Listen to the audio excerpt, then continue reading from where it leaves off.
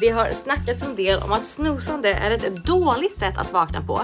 Men ny forskning från Stockholms universitet visar faktiskt på motsatsen. Okej, så en morgon lät forskarna personer snosa i 30 minuter och en morgon fick de gå upp på en gång.